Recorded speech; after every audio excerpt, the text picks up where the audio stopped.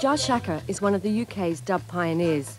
He's produced, played live and run one of the heaviest and most popular sound systems in the land for some 25 years. We caught up with Shaka and collaborator and dub genius in his own right, the mad professor of Ariwa Sounds, during a session filmed for Snub.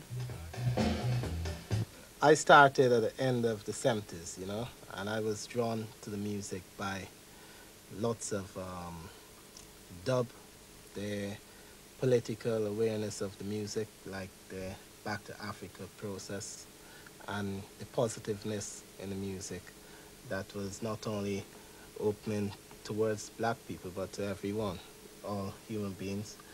And also the strong melodies, you know, that you could get, the energies from the music. And um, I hook up with Shaka at the turn of the decade, just as I was building the studio. The music Shaka has been dealing with over the years, um, some people that go to church would consider it like gospel music also.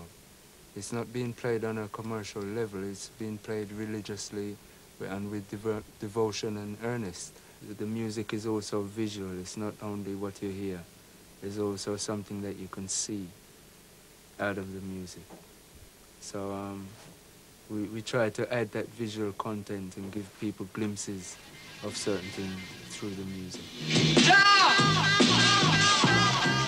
You know, these days you hear a lot of dub influences in things like hip hop and even soul and pop records, you know. But the foundation is very much firmly in reggae field.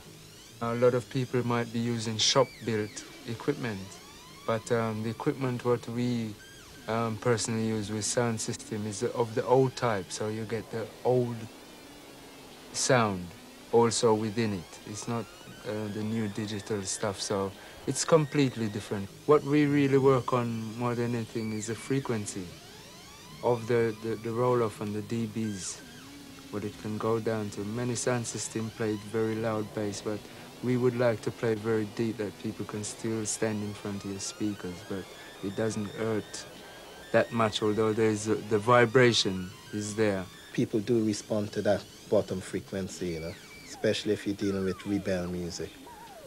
You know, people have to feel it.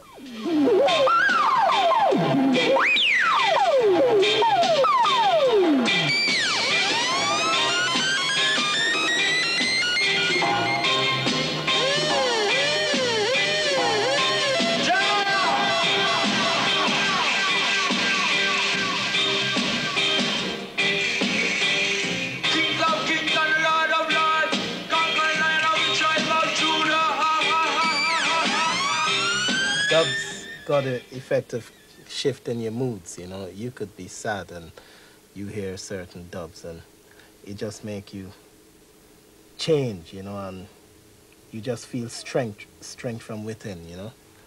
It's, you know, it's a very conquering sort of music, you know, and it just draws you in.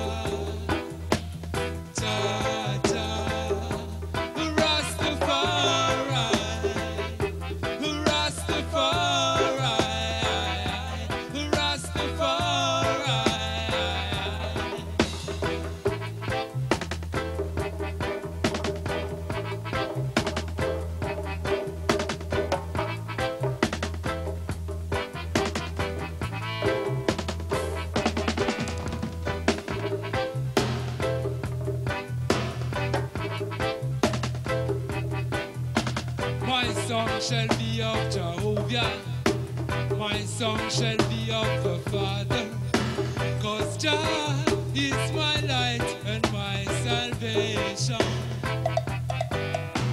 My song shall be of Jehovah, my song shall be of the Father, cause Jah